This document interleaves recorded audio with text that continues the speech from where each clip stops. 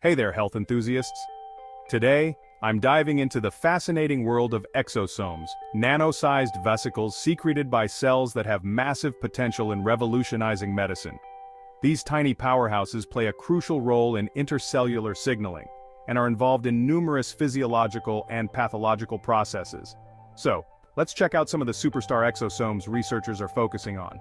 First up, stem cell-derived exosomes.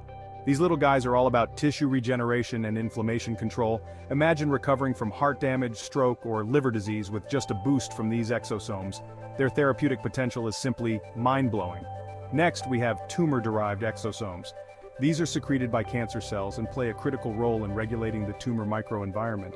Researchers are discovering how they can be used as biomarkers for cancer diagnosis, and even in developing cutting-edge immunotherapies. It's like a new frontier in the fight against cancer.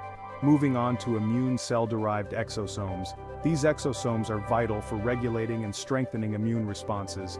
They're being studied for their role in activating or suppressing immune cells, making them a promising tool in cancer immunotherapy and treating autoimmune diseases. Just think about the possibilities.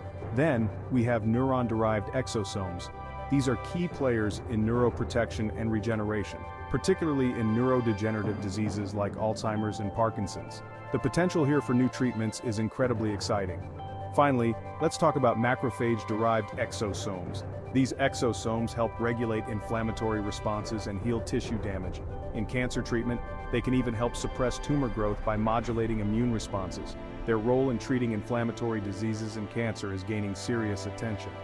In summary, exosomes are emerging as game-changing bio-nanomodule materials for disease diagnosis and treatment. Researchers are continually finding ways to analyze and manipulate these tiny vesicles to develop innovative treatments. Who knows, the future of medicine might just be in these tiny, powerful packages. Stay healthy and curious, folks. Catch you in the next one.